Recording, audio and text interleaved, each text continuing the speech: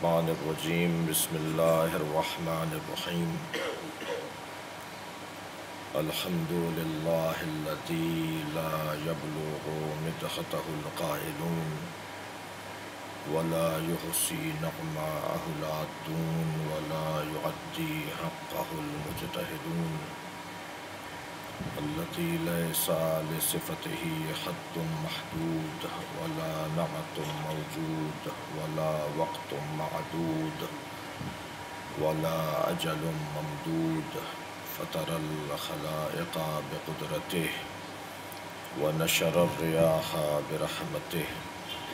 الصلاة والسلام على الرسول المسدد المصطفى العمجد المحمود الأحمد. سیدنا و مولانا و مولا القونین جد الحسن والحسین وعانی اب القاسم محمد.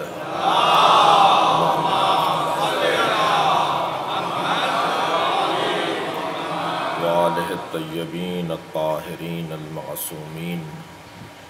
الذين قال الله إنما يريد الله ليذهب عنكم الرجس أهل البيت ويطهركم تطهيرا.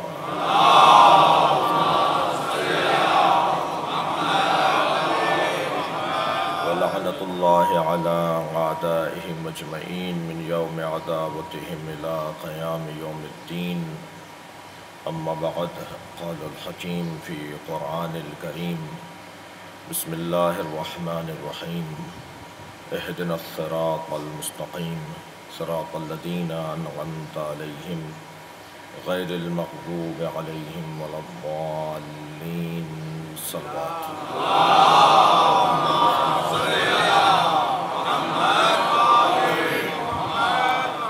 التماس ہے ایک سورہ فاتحہ اور تین مرتبہ سورہ اخلاص.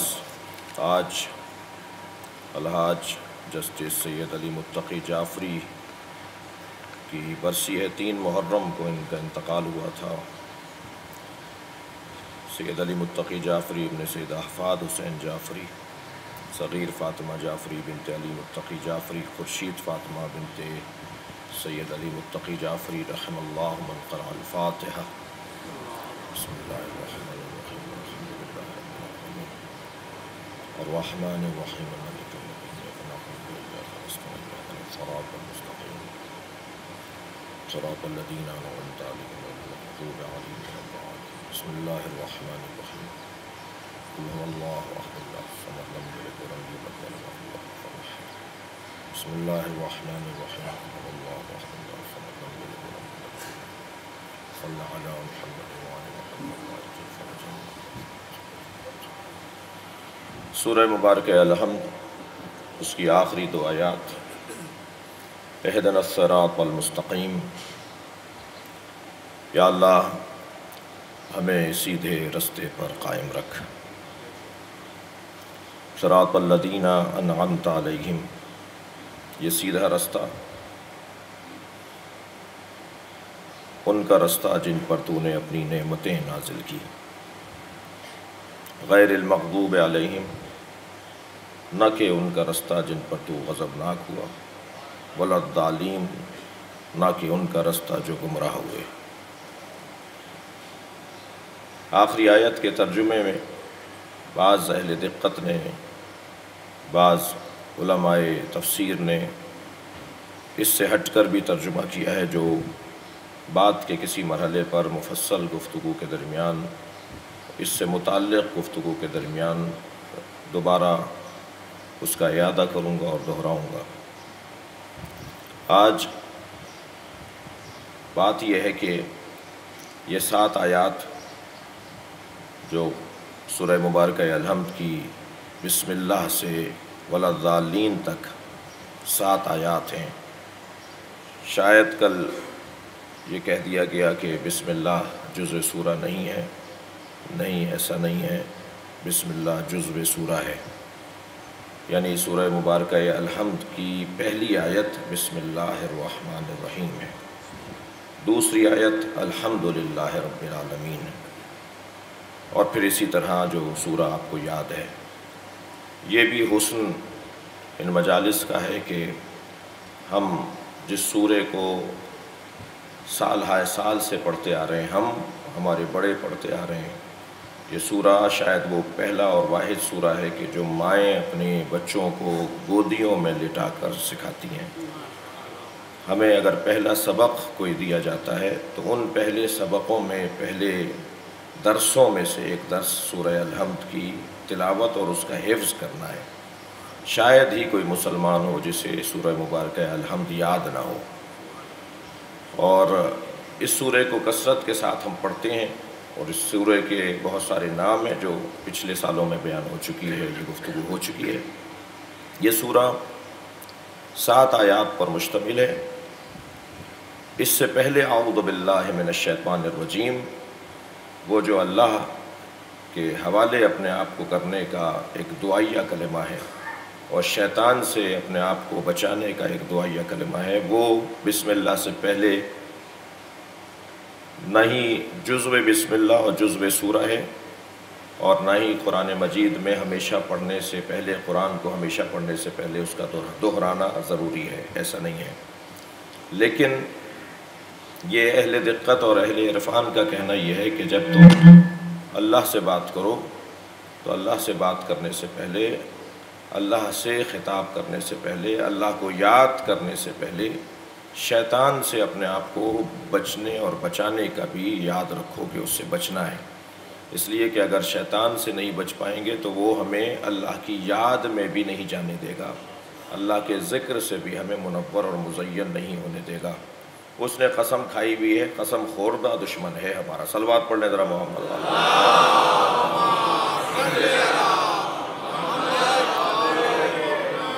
بات میری اور آپ کی ہو رہی ہے چہردہ معصومین، آئمہ اہل بیت کے بارے میں تو اس نے خود بھی کہہ دیا تھا کہ میرے بس کی بات نہیں ہے کہ میں ان کی طرف جا سکوں۔ میں بہکاؤں گا سب کو المخلصین، مگر مخلصین کو بہکانا میرے بس کی بات نہیں ہے۔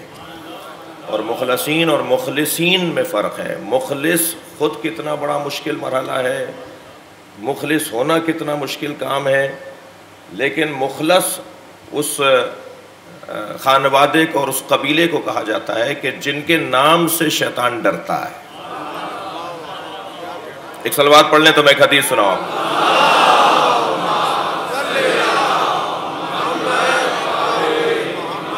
میرے مولا امام جعفر صادق علیہ السلام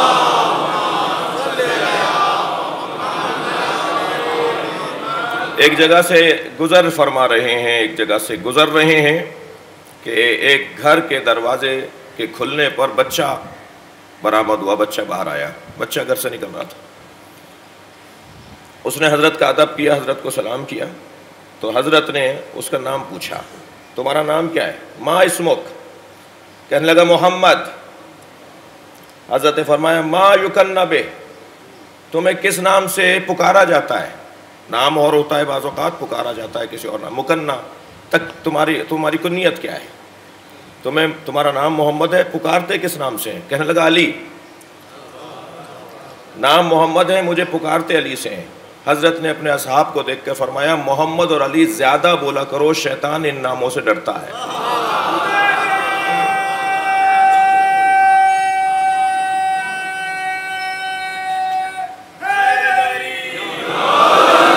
جب سرکار دو جہاں پر وہی نازل ہوتی تھی مولا علی کا فرمان نیج البلاغا کا۔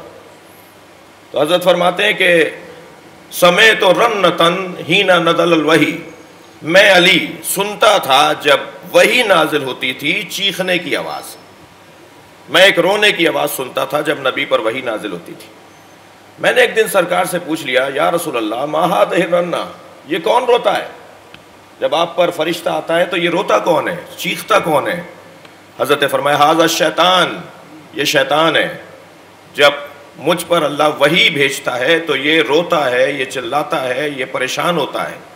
اور علی، تم اس آواز کو سن لیتے ہو جیسے تم فرشتے کی آواز کو سن لیتے ہو۔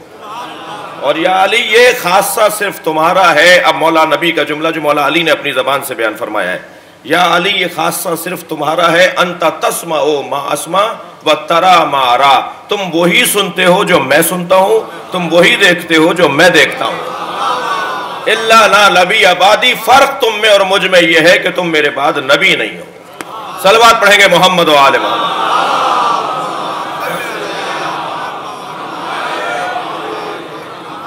تو شیطان، اس کی پناہ، اس سے بچنا، وہاں تو وہ مخلص ہیں۔ اچھا یہ لفظ میں نے کہہ دیا تو ان کمسن ساتھیوں کے لیے تھوڑا سا اسے اور روشن ہو جائے بات کہ مخلص اور مخلص میں کیا فرق ہے۔ ایک اس میں فائل ہے، ایک اس میں مفول ہے۔ ایک مخلص جو خود کو مخلص بنائے، جو خود کو خالص بنائے، جو خود کو ستھرا بنائے، جو خود کو صاف کر لے، وہ ہے مخلص۔ مخلص وہ ہے جسے اللہ صاف بنا کر بھیجے۔ مخلص وہ ہے جو اپنے آپ کو صحیح بنائے۔ مخلص وہ ہے جسے اللہ صحیح بنا کر بھیجے۔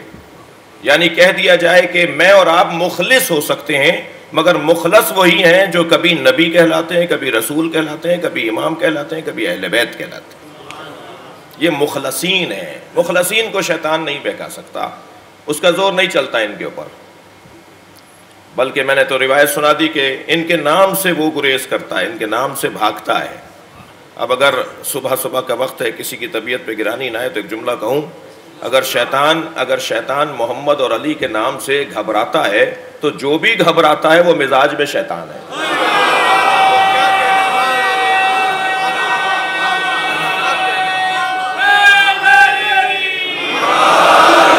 بلنتر سلوات دیا کریں گے۔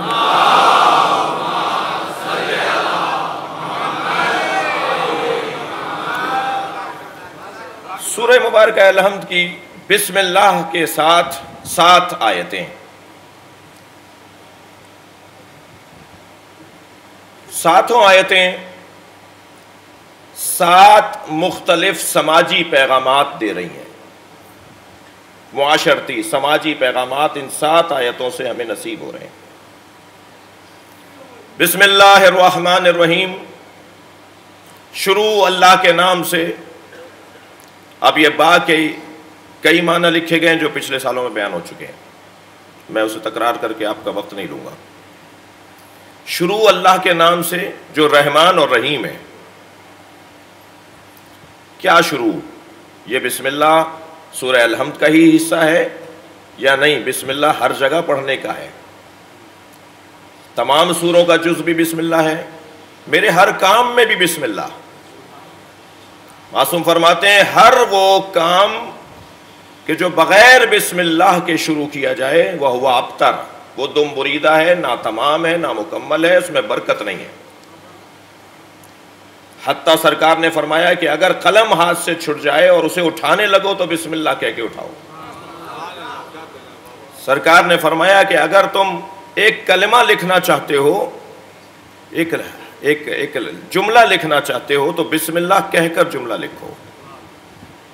یعنی اپنے ہر کام پر مہر لگا دو کہ تم اللہ والے ہو۔ اس مائک پر ایک مہر لگی ہوئی ہے۔ ان مائکوں پر بھی ذرا غور سے دیکھیں گے تو کوئی مہریں لگی ہوئی ہوں گی۔ بڑی کم کامیاب کمپنیاں مشہور ہو جانے کے بعد بھی یہ کام نہیں چھوڑتی وہ ضرور اپنی مہر لگاتی ہیں۔ ان کو دیکھ کر اندازہ ہوتا ہے یہ بنا کہاں سے ہے، یہ آیا کہاں سے ہے، اس کا مالک کون ہے، اس کا ذمہ دار کون ہے۔ اگر یہ خراب ہو جائے تو کس سے بات کرنی ہے؟ یہ کس کی مصنوع ہے؟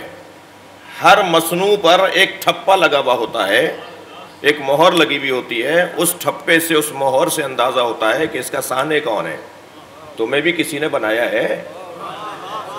اگر ہمیں کسی نے بنایا ہے تو ہم اپنے کام کے اوپر بسم اللہ کی مہر لگائیں تاکہ یہ ثابت ہو کہ اللہ ہمارا خالق ہے۔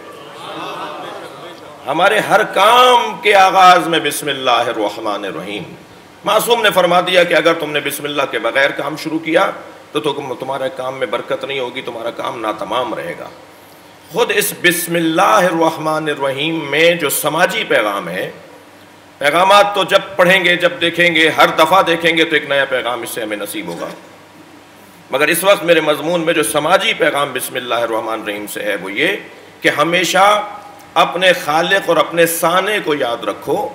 جو لوگ اپنے بنانے والے کو، پالنے والے کو، کھلانے پلانے والے کو، خلق کرنے والے کو یاد نہیں کر سکتا، تو پھر وہ توقع نہ کرے کہ اس کے ساتھ بھی کوئی شکریہ ادا کرے گا۔ یہ نظام ہے، یہ نظام ہے کہ جو میں کروں گا وہ میرے ساتھ ہوگا، اور میں اچھا کروں گا تو میرے ساتھ اچھا ہوگا، میں برا کروں گا تو میرے ساتھ برا ہوگا۔ ہمارے ہاں مسئلہ یہ ہے کہ ہر شخص دوسرے کا عیب دیکھنے کے لیے تو بڑی آنکھیں رکھتا ہے، مگر اپنے عیب کو دیکھنے کے لیے چندی آنکھیں بھی نہیں رکھتا۔ جی وہ دیکھ ہی نہیں رہا کہ میرے اندر کیا عیب ہے ہمیشہ فلاں ایسا کر رہا ہے، فلاں ایسا کر رہا ہے، فلاں ایسا کر رہا ہے۔ تم کیا کر رہے ہو؟ یہ شہر کے جو حالات ہیں، خاص طور پر اور عام طور پر پورے ملک کے جو حالات ہیں، اس کے پیش نظر دو تین دن سے گفتگو ہو رہی ہے، حاشیے کی گفتگو۔ مجالس کے بعد اور مجالس کے درمیان جو حاشیے میں گفتگو ہوتی ہے۔ ہر شخص یہ کہہ رہا ہے جی فلاں ایسا ہے، فلاں ایسا ہے۔ اس وقت تک مسئلہ حل نہیں ہوگا جب تک کہ میں یہ نہیں سوچوں گا کہ میں کیسا ہوں۔ اور ہر شخص جب اپنی ذمہ داری کو ادا کرنے کی سوچے گا اور مطمئن ہو جائے، کوئی گلا کسی سے نہیں، کوئی شکوا کسی سے نہیں، فلاں نے یہ نہیں کیا، نہیں، میں نے یہ کر دیا، میں مطمئن ہوں، بس۔ ہر شخص اپنی ذمہ داری کو ادا کرے گا، مسئلے حل ہوتے چلے جائیں گے۔ بسم اللہ الرحمن الرحیم، مجھے اس سے اپنے آپ کو جوڑنا ہے جس نے مجھے بنایا ہے۔ اور صرف وہ میرا اللہ ہی نہیں ہے، اللہ رحمان اور رحیم۔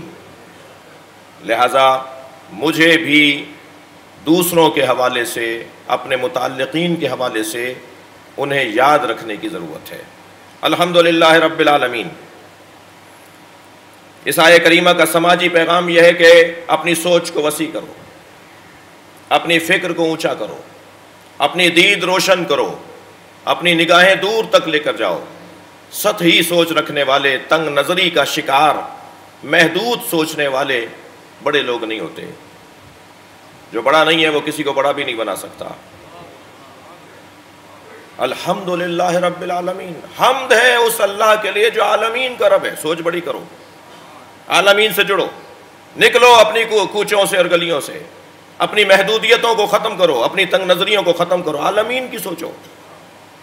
اللہ میں عالمین کی سوچنے کی دعوت دے رہا ہے، ہماری فکر عالمین سے متعلق بنا رہا ہے۔ ہم گھٹنوں کا شکار ہیں۔ جی اور گھٹن در گھٹن، تنگ نظری در تنگ نظری۔ یعنی ختم ہو کر نہیں دے رہی ہے بیماری ہمارے سماج سے۔ میں آپ کے توسط سے عمومی گفتگو کر رہا ہوں، آپ اپنی طبیعتوں پہ گرانی نہ لائیے گا۔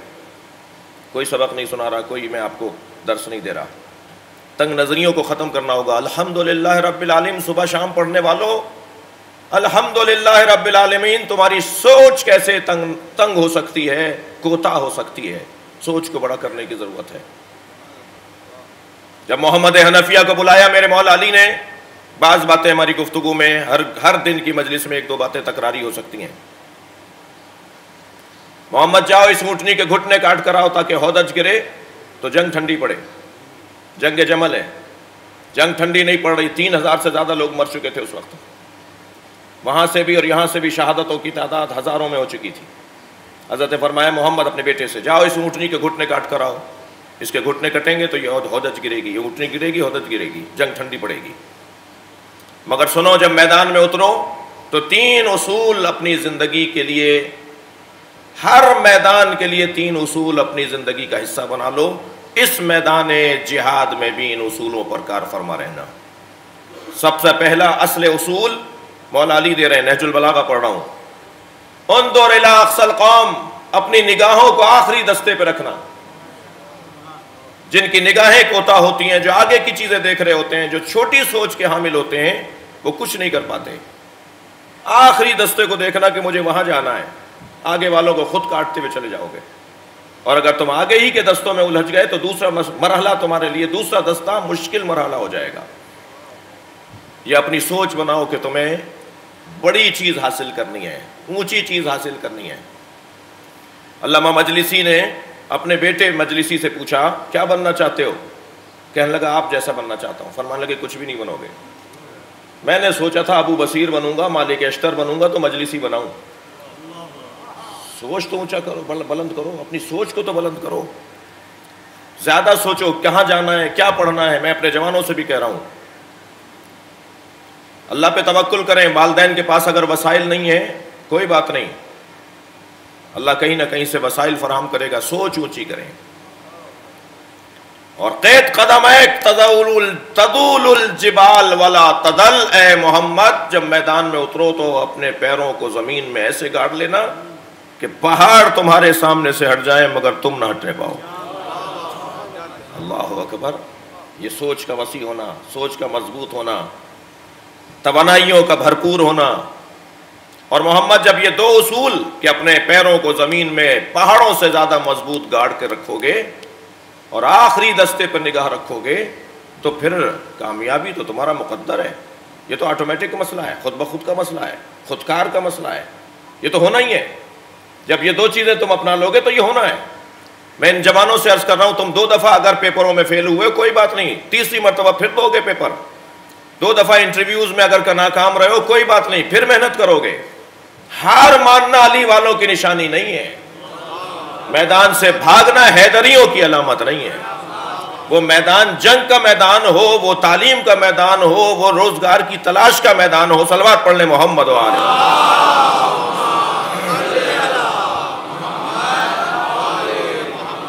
اور بے جب دونوں اصولوں کو اپنا لو گے تو پھر تمہارا مقدر کامیابی ہے۔ اور جب کامیاب لوٹو گے تو لوگ آفرین بولیں گے، مرحبا کہیں گے، شاباش کہیں گے۔ ہمارے معاشرے میں گلے میں ہار پھول ڈالے جاتے ہیں، گلدستے پیش کیے جاتے ہیں، پتیوں سے اور پھولوں سے استقبال کیا جاتا ہے۔ ایسی کیفیت میں انسان کا نفس اسے تنگ کرتا ہے۔ جب انسان کسی کامیابی کے بعد لوٹتا ہے نا، تو اندر سے آواز آتی ہے، میں کچھ ہو گیا ہوں، میں کچھ ہوں، میں کچھ ہوں۔ مولا علی نے فوراً فرمایا، جب کامیاب لوٹو اور لوگ تعریفیں کریں تو خبردار اپنے دماغ میں خطور نہ آنے دینا، یہ خیال نہ آنے دینا کہ تم کچھ ہو گئے ہو۔ وَعَلَمُوا أَنَّ النَّصْرَ مِنَ اللَّهِ۔ جان لو کامیابی اللہ نے دلوائی ہے، تمہاری کوئی حیثیت نہیں تھی۔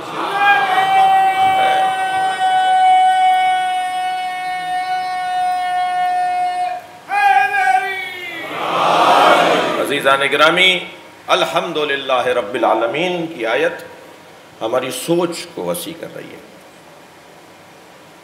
الرحمن الرحیم۔ الرحمن الرحیم، یہ آئے کریمہ ہمیں اس رب سے جوڑ رہی ہے کہ جو معاف کرنے والا ہے۔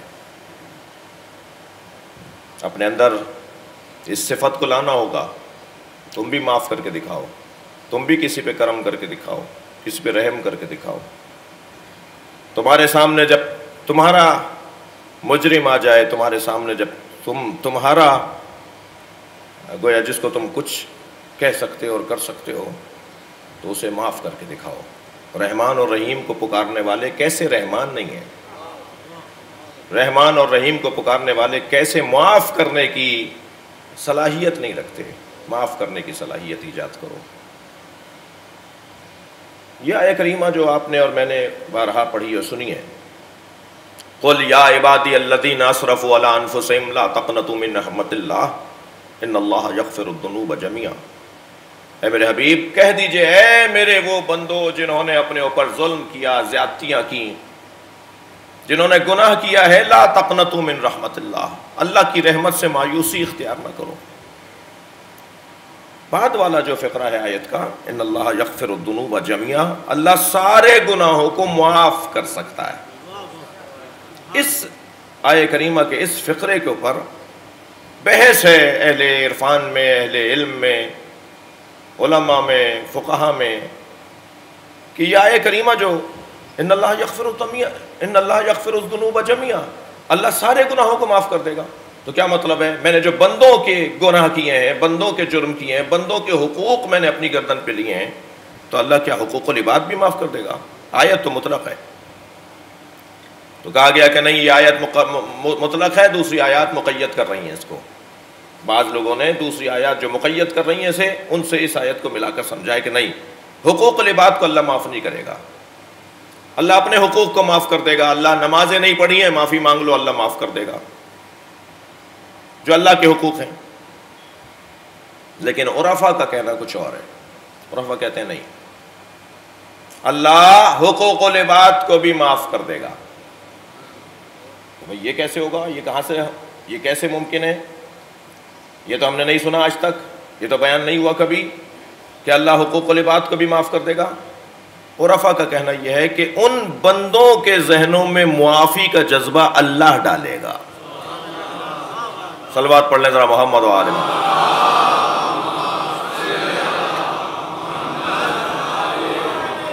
اور وہ جذبہ کیسے آئے گا میرے اور آپ کے ذہن میں کہ ہم اپنے گناہ گاروں کو معاف کر دیں، جنہوں نے ہمارے گناہ کیے ہیں، جنہوں نے ہمارے ساتھ زیادتیاں کی ہیں ہم انہیں کیسے معاف کر دیں، کیوں معاف کر دیں؟ وہ جذبہ اللہ اس انداز سے عطا کرتا ہے۔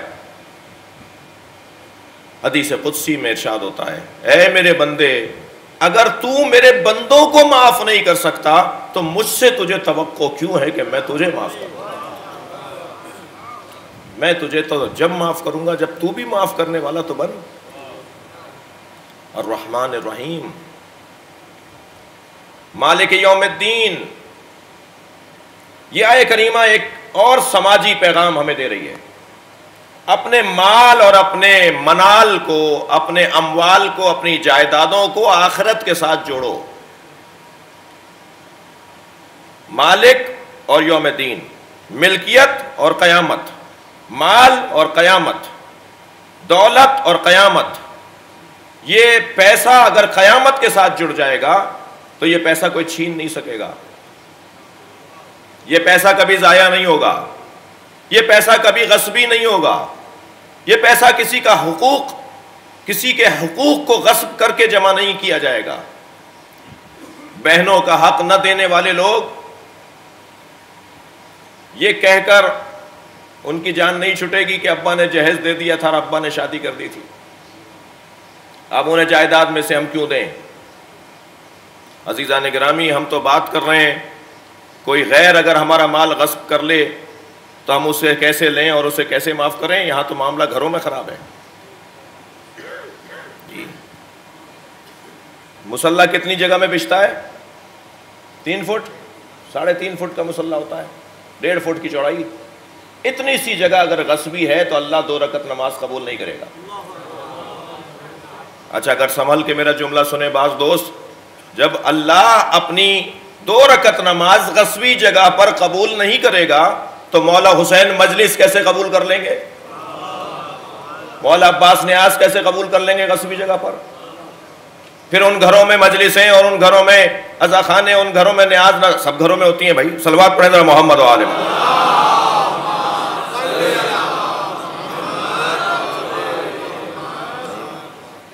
حقوق دینے ہوں گے ہمیں۔ اپنے مال کو آخرت کے ساتھ جوڑنا ہے، سماجی مسئلہ ہے۔ پہلے ہی بہنوں کا اللہ نے حکم رکھا ہے، وہ آدھا بھی بھائی کھا جاتے ہیں۔ بھائی جو کھاتے ہیں، وہی خفا ہو اور ان کے خفا ہونے سے مجھے کوئی خوف نہیں ہے۔ جی پہلے ہی اللہ نے آدھا رکھا ابا کے مال میں سے اور وہ بھی بھائی کہہ رہے ہیں جی ہم کیوں دیں؟ نہیں۔ راضی کریں ان بہنوں کو۔ خاص طور پر حسین کے چاہنے والے اور زینب کے رونے والے۔ امام حسین کے چاہنے والے اپنے مزاج سے، اپنے اپنے گھروں سے اس بیماری کو ختم کریں۔ یا تو مانگ لیں ان سے معافیاں، مانگ لیں ان سے اجازتیں لے لیں۔ بہنیں بڑی مہربان ہوتی ہیں۔ بہنیں بھائیوں کو بڑی مہربان ہوتی ہیں۔ ان کے ساتھ رافت ہو، محبت ہو، تو یہ درگزر کر دیتی ہیں۔ مالک یوم الدین، ایاک نعبد و ایاک نستعین۔ ایاک نعبد، ہم تیری ہی عبادت کرتے ہیں۔ اس میں سماجی پیغام یہ ہے کہ عبادت کو ایک جیسا ہونا چاہیے۔ جب تک میرا معاشرہ کامیاب معاشرہ نہیں ہوگا، جب سب اذانیں ایک جیسی نہیں ہوں گی۔ جب سب نمازیں ایک جیسی نہیں ہوں گی۔ جب حج ایک جیسا نہیں ہوگا۔ اس وقت تک میرا معاشرہ آئیڈیل اور مثالی معاشرہ نہیں ہے۔ ٹھیک ہے، اس وقت کی جو کیفیت ہے، اللہ قبول کرے گا ان سے، ان کی عبادت کو، ہم سے، ہماری عبادت کو۔ لیکن ہونا یہی ہے، کامیاب معاشرہ جب ہی بنے گا، جب ایک جیسی عبادت ہوگی۔ اور ہم اسی طرف بڑھ رہے ہیں، ہم سب ایک ہی چیز کا انتظار کر رہے ہیں۔ وہ جو ہم انتظار کر رہے ہیں، وہ ایک جیسی عبادت کا انتظار کر رہے ہیں۔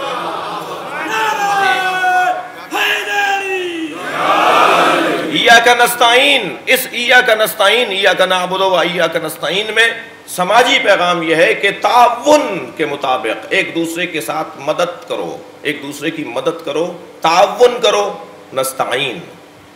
جمائیں اہدنا الصراط المستقیم۔ اللہ سے بڑی چیز مانگو، چھوٹی چیز نہیں مانگو۔ میں کربلا محلہ مشرف تھا، میرے ساتھ کچھ زائرین تھے، کہنے لگے، تحت قبا، امام حسین کی گنبت کے نیچے تین دعائیں قبول ہوتی ہیں۔ کیا مانگیں؟ میں نے ایک جوان سے پوچھا، تم کیا مانگو گے؟ اس نے کچھ ایسی چیزیں بتائیں جو بہت چھوٹی چھوٹی چیزیں تھیں۔ میں نے کہا، یہ تو حضرت عبداللہ شاہ غازی دے دیتے، یہاں کیوں آئے ہو؟ یہ تو حضرت امام بری دے دیتے، یہ تو شہباز خلندر دے دیتے، یہاں کیوں آئے اتنی دور؟ بڑے لوگوں سے بڑی چیزیں مانگی جاتی ہیں۔ جی۔ ہمیں امام حسین کے گنبت کے نیچے بڑی چیزیں اہدن الصراط المستقیم۔ سیدھے رستہ مانگ لیا جائے، پھر سارے مسئلے تو خود حل ہیں۔ بھائی سو مانگو نا نوے خود مل جائے گا۔ تم چار پانچ چیز چھ، آٹھ، نو، دس مانگ رہے ہو، پھر سو تک پہنچنے میں پھر مانگو گے، پھر مانگو گے، پھر مانگو گے۔ ایک بڑی چیز مانگ لو جو سب کچھ ہو۔ امام کا ظہور مانگ لو، ساری الجھنیں خود ہی دور ہو جائیں گی۔ سلوات پڑھے محمد و آل محمد۔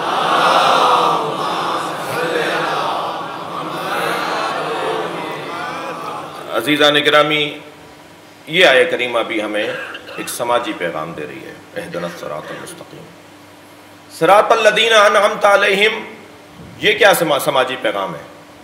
ہمیں اس رستے پر قائم رکھ جو ان لوگوں کا رستہ ہے کہ جن پر نعمتیں نازل کی ہیں۔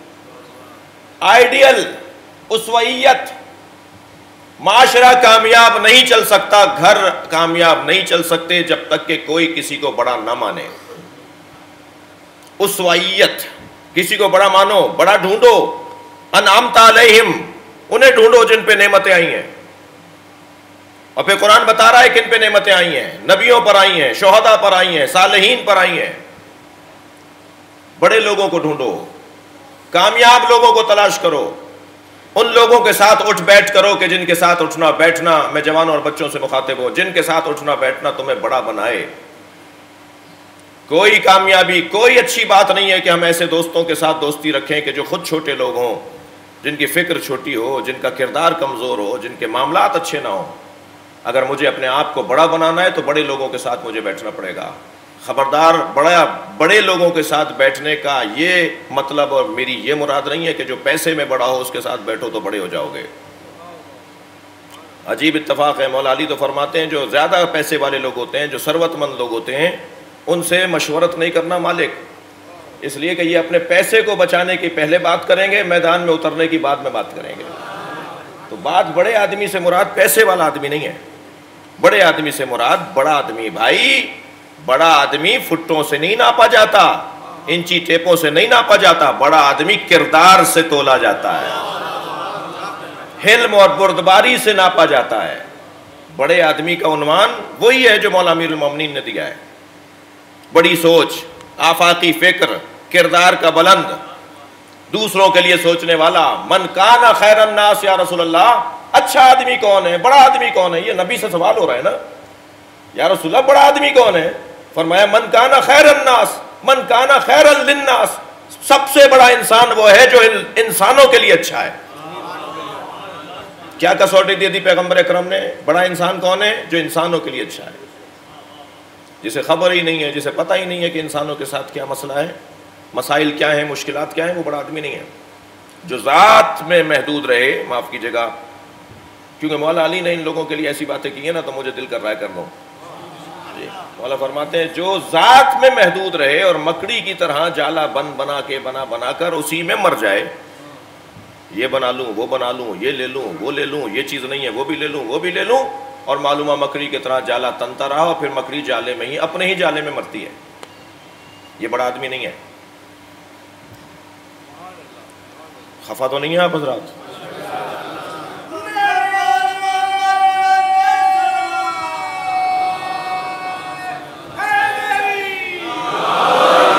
اہدن الصراط المستقیم صراط الذین انعمت علیہم اسوئیت بڑے کو تلاش کریں. ہم فطری طور پر، دو چار جملے اور سن لیجیے. ہم فطری طور پر، اس باب میں، اس باب میں دو تین جملے اور سن لیجیے. ہم فطری طور پر اسوئیت کو تلاش کرتے ہیں، آئیڈیل کسی کو مانتے ہیں، بڑا کسی کو مانتے ہیں. یہ ہمارا چھوٹا سا بچہ جو اتفاق سے، صبح کی مجلسوں میں نہیں ہے. یہ انہی جوتیوں میں پیر ڈالتا ہے جو ابا پہنے ہوئے تھے۔ وہی پین مانگتا ہے آپ سے جس سے آپ لکھ رہے تھے۔ اسی کنگے سے کنگھی کرتی ہے یہ بچی جس سے اما ابھی کنگھی کر رہی تھی۔ یہ ہر کام بڑے کو دیکھ کر آپ نے ایسا کیا، میں بھی ایسا کروں گی۔ چادر بنواتی ہے، جب اما کو دیکھتی ہے چادر پہن کے نماز پڑھ رہی ہے۔ میرے لیے بھی چھوٹی سی چادر بنائی ہے یہ بتا رہا ہوتا ہے بچہ اپنے مزاج کے ذریعے سے کہ میں کسی کو بڑا مانتا ہوں۔ مجھے بڑا ماننا ہے، یہ اور بات ہے، یہ بڑا ہو کر کسی کو بڑا نہیں مانتا۔ پھر کہتا ہے جی میں بڑا ہوں۔ تو سن و سال سے کوئی بڑا نہیں ہوتا۔ عزیزان گرامی، کردار سے، علم سے، تجربے سے انسان بڑے ہوتے ہیں نا۔ تلاش کریں اسوائی اسوا تلاش کریں، اپنے لیے بڑا۔ انعمت علیہم، غیر المغضوب علیہم والدالین یہ آخری آیت بھی ہمیں سماجی پیغام دے رہی ہے۔ وہ مردہ لوگ ہیں جو برے کو برا نہیں کہتے، جو برائیوں سے نفرت نہیں کرتے۔ اور یہ کیسے ممکن ہے کہ کوئی برائی سے نفرت کرے اور برے سے نفرت نہ ہو؟ میں جھوٹ سے نفرت کرتا ہوں تو کیسے ممکن ہے جھوٹوں سے پیار ہو جائے گا؟ میں غیبت سے نفرت کرتا ہوں، کیسے ممکن ہے کہ جو دوسروں کی آبرو ریزیاں کرتے ہیں اپنی محفلوں میں بیٹھ کر مذاق بناتے ہیں لوگوں کا، ان سے مجھے پیار ہو جائے؟ مجھے خود بخود غیبت کرنے والے سے نفرت ہوگی، اس لیے کہ غیبت سے مجھے نفرت ہے۔ غیر المغضوب علیہم والدالین مغضوبوں سے بھی اور ظالین سے بھی نفرت، دوری، پرہیز، بچنا، یہ ایک سماجی مسئلہ ہے۔ خدا کے لیے ان محفلوں سے اٹھ جائیں میرے جوان اور میرے بچے جن محفلوں میں غیبتیں ہوتی ہیں۔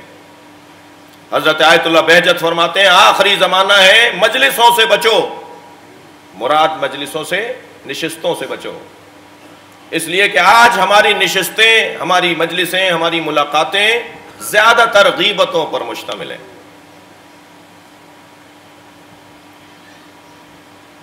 سارے اعمال ضائع ہو جاتے ہیں۔ چالیس دن تک دعا قبول نہیں ہوتی، اس کی جس نے غیبت کی ہوتی ہے۔ گلا اللہ سے کر رہا ہوں میں۔ شکوا اللہ سے ہے کہ دعا قبول نہیں ہو رہی۔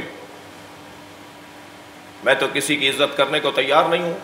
سامنے چاپلوسی کرتا ہوں۔ پیٹ پیچھے غیبت کرتا ہوں۔ سبحان اللہ۔ جرت ہوتی تو سامنے بولتا، جو بات میں پیٹ پیچھے کر رہا تھا۔ مرد ہو تو سامنے بات کرو۔ یہ کسی کے اٹھ جانے پر قرآن پکار کے کہہ رہا ہے۔ کیا تم یہ پسند کرو گے کہ اپنے مردار بھائی کا گوشت کھاؤ؟ اس لیے کہ وہ نہیں ہے۔ نہیں ہے یعنی مردار ہے یعنی مردہ ہے۔ وہ دفاع نہیں کر سکتا۔ مردہ کیا ہوتا ہے؟ دفاع نہیں کر سکتا اپنا۔ کچھ نہیں کر سکتا، پڑا ہوا ہے۔ ایسے وہ نہیں ہے جو غیبت میں ہے، جو نہیں ہے، اس وقت وہاں موجود نہیں ہے۔ وہ کچھ نہیں کر سکتا۔ وہ جواب نہیں دے سکتا، دفاع نہیں کر سکتا۔ تمہیں کیا پسند ہے کہ تم اپنے مردار بھائی کا گوشت کھاؤ؟ ماہ مبارک رمضان میں ایک صحابی سرکار دو جہاں کی خدمت میں آیا۔ تو ایک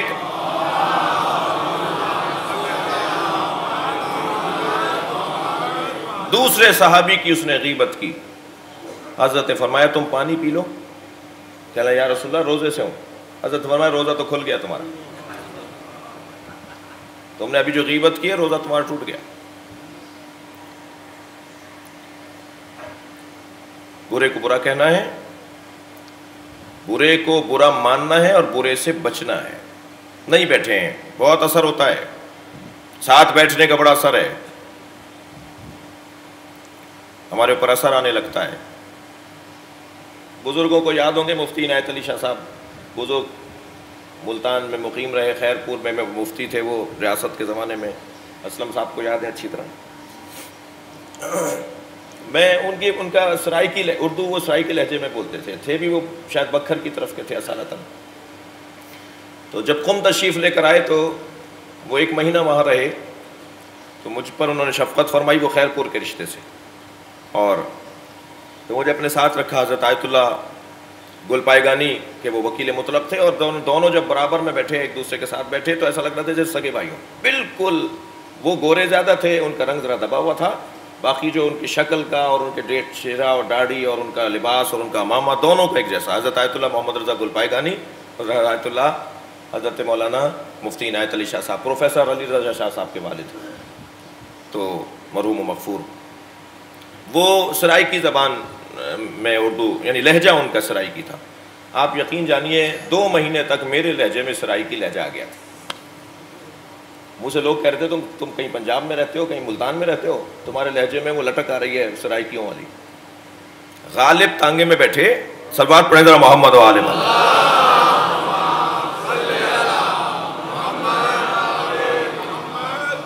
بیٹھتے ہی اس نے پوچھا، کہاں جانا ہے؟ انہوں نے کہا جی فلاں جگہ، اتار دو مجھے دہلی کی بات۔ تو آدھے رستے میں کہنے لگے مجھے اتار دو، میں تمہارے ساتھ نہیں بیٹھنا چاہتا۔ تانگے والے سے کہا۔ جگہ جی وہ تو منزل نہیں آئی، ابھی وہ جگہ ہی نہیں آئی جہاں آپ کو پہنچانا۔ کہنا نہیں، وہاں تک میری اردو خراب ہو جائے گی۔ میں تمہارے ساتھ وہاں تک جاؤں گا، میری اردو خراب ہو جائے گی۔ اتنا اثر ہوتا ہے انسان کے اوپر۔ یعنی لہجے چڑھ جاتے ہیں، الفاظ کا اثر ہم پر ہونے لگتا ہے، تو پھر گناہوں کا اثر کیسے نہیں ہوگا؟ برائیوں کا اثر ہم پر کیسے نہیں آئے گا؟ سوچیں کہ اس کے ساتھ مجھے نہیں بیٹھنا۔ ٹھیک ہے، میں اسے لڑ نہیں سکتا، جھگڑا ہو جائے گا، فساد پھیل جائے گا، لیکن اس سے آہستہ آہستہ دوری اختیار کریں میرے جوان اور کم سن ساتھی۔ اہدن الصراط المستقیم صراط الذین انعمت علیہم غیر المغضوب علیہم والضالین بات آگے بڑھے گی کہ یہ سات آیتیں جنت کے دروازوں کو کھولتی ہیں۔ اور دوزخ کے دروازوں کو بند کرتی ہیں۔ اور لفظ اللہ پر بھی اعوذ باللہ من الشیطان الرجیم۔ غور کرنا ہے کہ اس سورے کے بہت سے مطالب بہرحال مجالس کے تقاضے ہیں اور ممبر کا کچھ تقاضا ہے اور مجالس کا کچھ ہم سے مطالبہ ہے۔ مجھے ایک دفعہ پھر درگزر فرمائیں گے اگر کسی کے لیے کوئی بات ناگوار گزری ہو۔ کہ یہ جملہ نہیں کہنا چاہیے تھا۔ میں یہ سمجھ رہا تھا کہ یہ جو کہہ رہا ہوں صحیح کہہ رہا ہوں۔ غیر المغضوب علیہم۔ جب ہم کربلا کی داستان سنتے ہیں، تو جہاں حسین ابن علی کا کربلا میں گھوڑے سے گرنا ہمیں یاد آتا ہے، وہاں ان صفاق ان قسی القلب ان حیوان اور بلکہ ان کو حیوان کہنا اور جانور کہنا بھی جانوروں کی توہین ہے۔ ان پر بھی تو غور کرنے کی ضرورت ہے کہ آخر ایسے کیوں ہو گئے تھے، ایسے ایسے کیسے ہو گئے تھے؟ جتنے بھی قاتلان امام حسین ہیں اچھا یہ لفظ بھی رونے کے لیے بڑا لفظ ہے۔ حسین کو ایک آدمی نے نہیں مارا ہے۔ امام کے گلے کو جدا کرنے والا ایک ہے۔ امام کے گلو مبارک پر خنجر چلانے والا ایک ہے۔ تبھی امام جب بھی کوئی قریب آ کر حضرت کو تکلیف پہنچاتا تھا، تو حضرت اسے غور سے دیکھتے تھے اور پوچھتے تھے، تیرا نام کیا ہے؟ وہ جب نام بتاتا تھا تو حضرت اس کو اس کا جواب نہیں دیتے تھے، لیکن جیسے شمر نے کہا نا، میں شمر ابن جوشن ہوں۔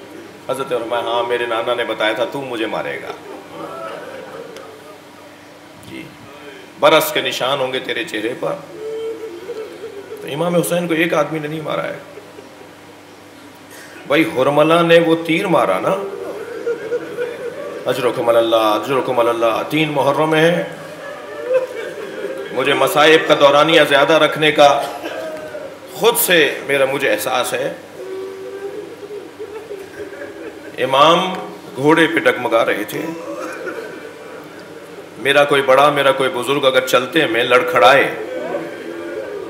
جی اس کا پیر کہیں پڑ رہا ہو اور وہ جا کہیں اور رہا ہو، تو ہم آگے بڑھ کے سہارا دیتے ہیں نا۔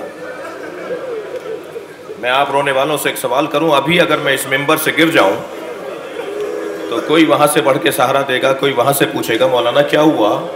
چوٹ تو نہیں لگی، حسین گر گئے۔ گھوڑے سے حسین گر گئے۔ کسی نے بڑھ کر سہارا نہیں دیا۔ اتنی تنہائی، اتنی غربت۔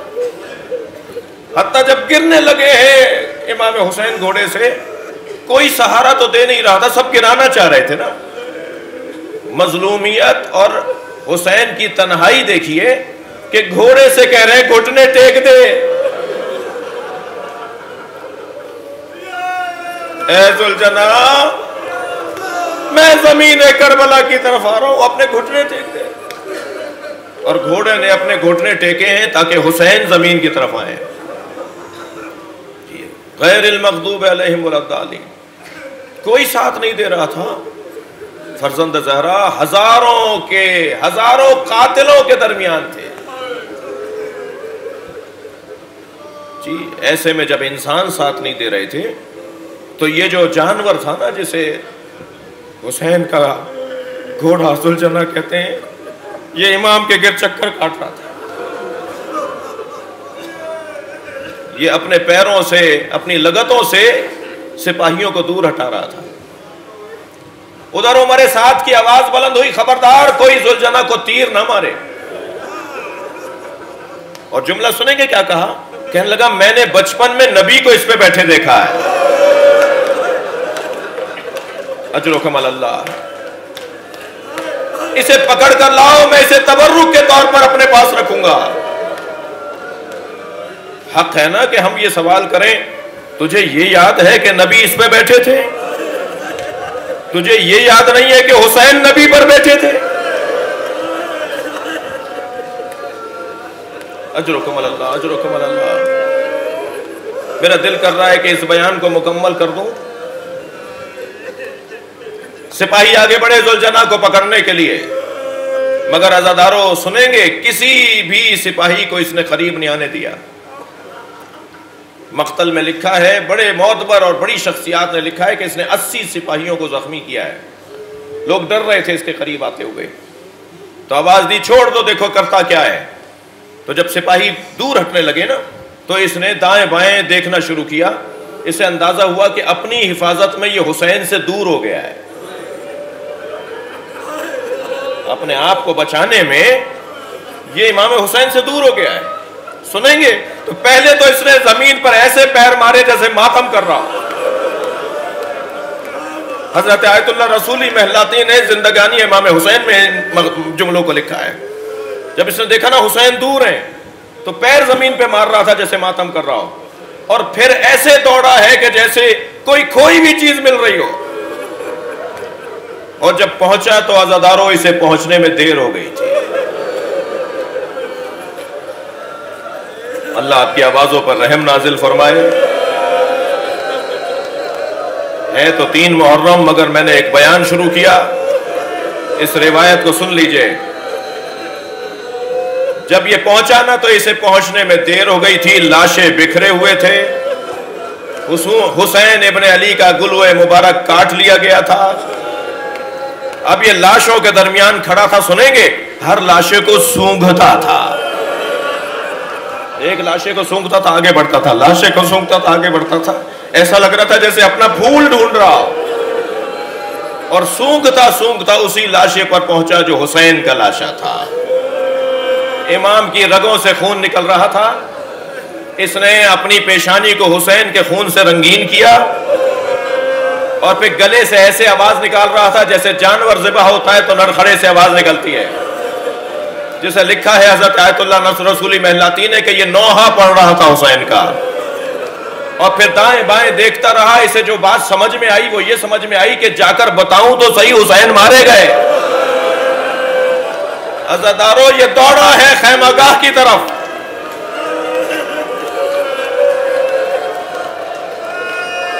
اجر و کمل اللہ اجر و کمل اللہ اجر و کمل اللہ۔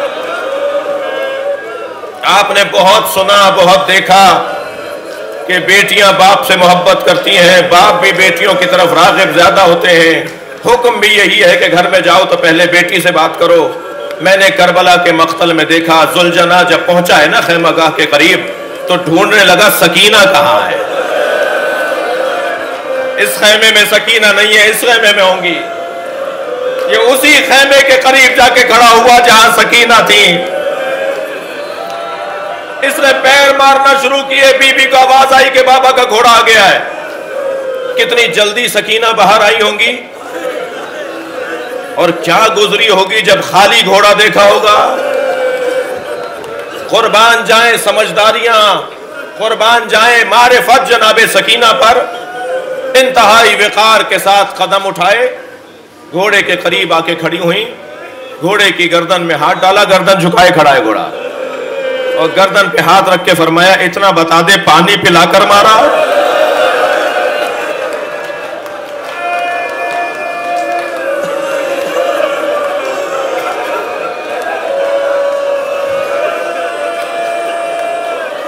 اجر و کمل اللہ۔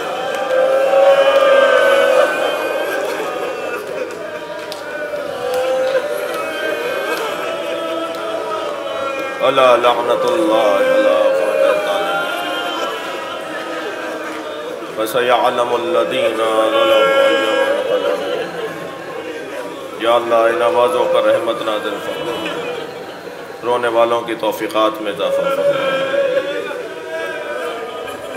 ہماری عاقبت بخیر فرما. حاضرین کے مرحومین کی مغفرت فرما. خاص طور پر سید علی متقی جعفری کے درجات کو بلند فرما، امام زمانہ کے ظہور میں تعجیل فرما۔ مزید ایک سورہ فاتحہ، مرحوم مغفور، حاضرین مجلس کے مرحومین۔ بسم اللہ الرحمن الرحیم الحمدللہ رب العالمین، الرحمن الرحیم إياك نعبد وإياك نستعين اهدنا الصراط المستقيم صراط الذين أنعمت عليهم غير المغضوب عليهم بسم الله الرحمن الرحيم قل هو لم يلد ولم يولد. بسم الله الرحمن الرحيم. الله أحد لم يلد ولم يولد اللهم صل على محمد.